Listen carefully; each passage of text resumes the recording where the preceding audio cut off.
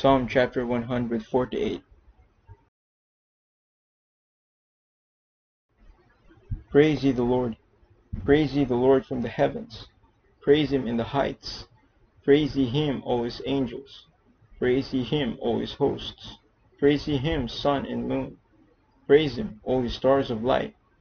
Praise him, ye heavens of heavens, and ye waters that be above the heavens. Let them praise the name of the Lord. For he commanded, and they were created. He hath also established them for ever and ever. He hath made a decree which shall not pass.